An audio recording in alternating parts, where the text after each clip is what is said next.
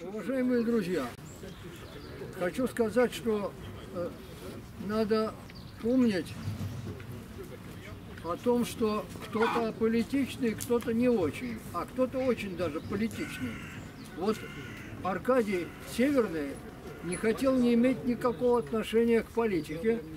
И от моего приглашения встать на путь борьбы с режимом всегда отказывался, говоря о том, что ему как артисту это неорганично.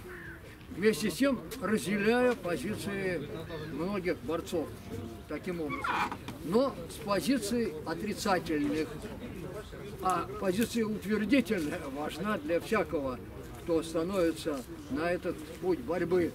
Когда я вернулся 10 лет спустя, пройдя Мордовию, Урал, Сибирь, все наши спецстрогие зоны, проехав все тюрьмы, я вдруг увидел в одном ларьке, где продавались э, тогда еще не диски, а только кассеты и даже пластинки кассету с траурной ленточкой. Она обратила мое внимание.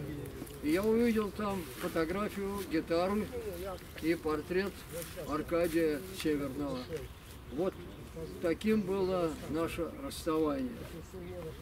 То есть на путь борьбы он не встал, сам он песен не писал, он был э, интерпретирующим то, что писали другие.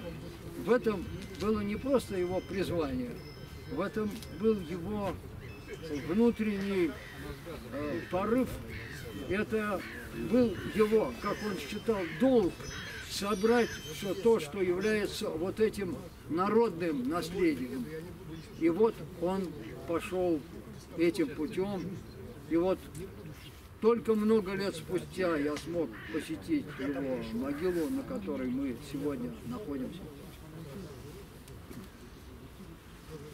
Ну вот о тех давних временах, поскольку наши судьбы сложились по-разному, хотя мы были людьми одной эпохи, не забудем, что это начало было в конце 50-х. Вот эта песня, которая называется «Всенародная свобода». Взяв гитару, стал я бардом. В девах мне везло, не в картах, но в политику взял старт я.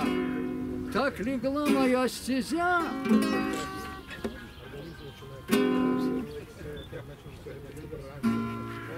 Не в совдеп, враг советской лжи казенной, не стяжал я миллионов, стал я политзаключенным, раз иначе жить нельзя.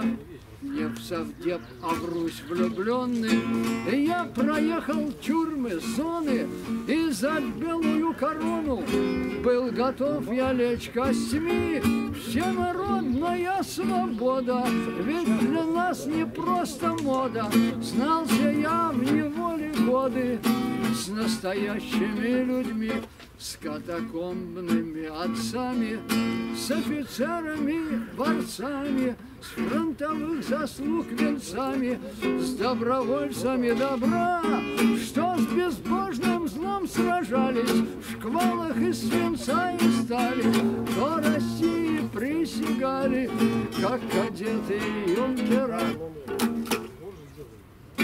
но воспитано бесстрашным было поколение наше. Чуть хлебнув из рабства чаши, встал я на русский путь. А режим качнулся вправо и по швам трещал на славу. И всяк думал на халяву, пронесет нас как-нибудь но с вождями поединок породил свободный рынок. На обломках госмашины две чеченские войны нищету речей браваду. Ген державного распада в небе знак планет парады. Загадав нам всем шарады вновь о будущем страны груз ерма под новой маркой Из компартии и епархии С капиталом олигархи Что ограбили народ. Вот и вышло ненароком Вновь свобода пахнет сроком. Строим мы в борьбе жестокой Коммунизм наоборот Вот и вышло ненароком Вновь свобода пахнет сроком Коммунизм наоборот Браво! Спасибо. Вот поскольку в эти годы, конечно, у нас очень много было памяти о том, что было предыдущий период наш, а, когда просто а, мне вот встречались люди на этапах, которые ведь имели срок 15, потом им добавляли 10. Тем, у которых было 10, добавляли 15, получало 25. Я провожал на свободу, точнее на, на подсоветскую волю, людей, у которых был срок 35 лет. Это были и сидевшие за войну, и катакомбная церковь, а, и главы национальных движений, и, конечно, лесные братья. Им у меня посвящены отдельные песни. Но вот воспоминания о тех годах СССР.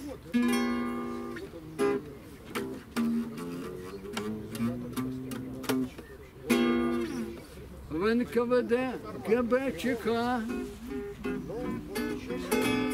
раскрутят дело с пустяка. Хотя возьмем хотя бы нас вопрос. Ты, предположим, эскимос. Взяв эскимо, как будто в рот, Снимал секретный ты завод. Фильм растворимый по нутру Умеют делать в ЦРУ закрытых лжесудов. Не важен факт, что нет следов. Раз ты не нация, не Сион Гренландский, значит, ты шпион. Не зря зовут СССР страной снегов и высших мер. В НКВД, ГБ, ЧК раскрутят дело с пустяка.